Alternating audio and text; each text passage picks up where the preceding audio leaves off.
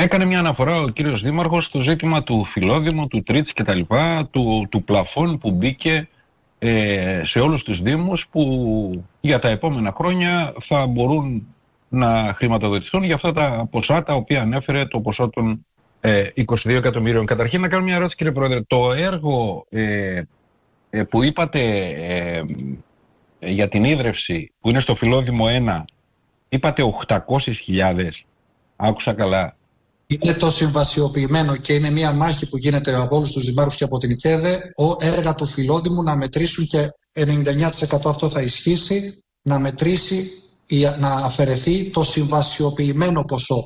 Είναι ένα 800... του Ναι, ένα 892 είναι το έργο το συνολικό, αλλά το συμβασιοποιημένο και μακάρι, δηλαδή θα είναι και μια επιδίωξή μου και εμένα αυτή, να αφαιρεθεί από, το 22, από τα 22 εκατομμύρια το, το, το ποσό της σύμβασης, που είναι σαφώς ε, περίπου στα μισά. Ναι, λοιπόν, ήθελα να πω τα εξής λοιπόν, για το ζήτημα του Φιλόδημου. Καταρχήν έχουμε μία καθυστέρηση 1,5 χρόνο στην εκτέλεση των έργων του Φιλόδημου. 1,5 χρόνο. Με ό,τι αυτό συνεπάγεται για τους Δήμους και φυσικά και για το Δήμο της Λευκάδας.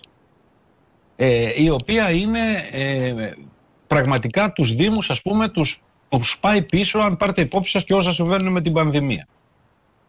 Ε, επίσης, θέλω να πω ότι ενώ είχαμε ενταγμένα έργα, και σας παρακαλώ θέλω την προσοχή σας σε αυτό, ενταγμένα έργα, ενταγμένα έργα, ύψους 500 έργα, 502 για τα κύλια, ύψους 1,3 δις, το χρονικό διάστημα του 1,5 χρόνου που ο Φιλόδημος ήταν σε λειτουργία μέχρι περίπου το καλοκαίρι του 19, 1,5 δις 1,3 δις, συγγνώμη, ενταγμένα επαναλαμβάνω έργα και από αυτά φυσικά είχε και ο, ο Δήμος ε, της Λευκάδας. Ε, τα συνολικά έργα στο Φιλόδημο μαζί με ε, αυτά που είχαν εννοώ ε, κατατεθεί ως προτάσεις.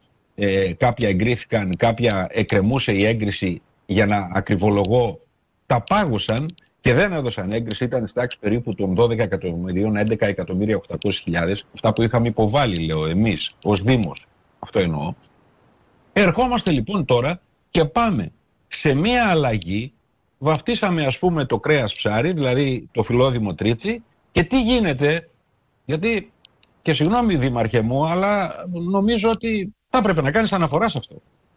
Γίνεται μία κατανομή υπέρ των μεγάλων δήμων, όπως θα ακούτε, υπέρ των μεγάλων δήμων και σε βάρος των μικρότερων δήμων Δηλαδή, ε, παίρνουν κάπου 40 εκατομμύρια οι πιο μεγάλοι δήμοι, οι, οι πιο μικροί παίρνουν τα μισά. Τα λέω λίγο χοντροκομμένα για να γίνουν και κατανοητά, να μην πω στις αναλύσεις.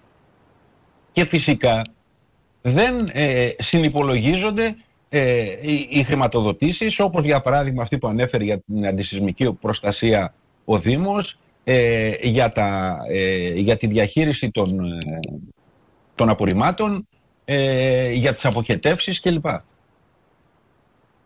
Αυτός συνιστά πολύ μεγάλο πρόβλημα. Δεν ξέρω δηλαδή, εμείς είμαστε πολιτικό όργανο.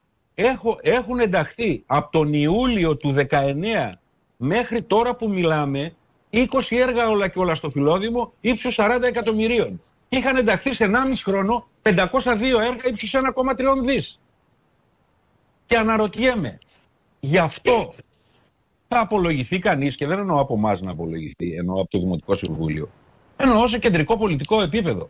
Από το Υπουργείο Εσωτερικών. Τι θα γίνει με αυτό; Έτσι θα το περάσουμε.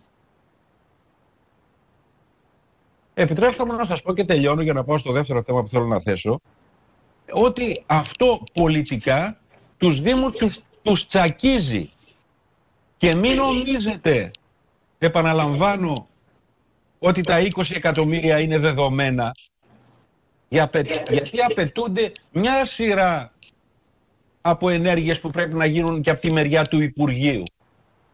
Δηλαδή η σύμβαση για παράδειγμα που έπρεπε να είχε υπογραφεί εδώ και 1,5 χρόνο από την Ευρωπαϊκή Τράπεζα Επενδύσεων και δεν υπογράφηκε και υπογράφηκε μόλις τώρα. Άρα το ζήτημα δεν είναι τόσο απλό Έχουμε μπροστά μας μαλλιά να ξάνουμε και επαναλαμβάνω πρέπει να γίνουμε πιο διεκδικητικοί. και αναφέρω, αναφέρομαι όχι στο Δήμο της Λευκάδας, μόνο αναφέρομαι στο σύνολο. Το δεύτερο θέμα που θέλω να θέσω ε, είναι το εξής. Έκανα και μία σχετική δήλωση.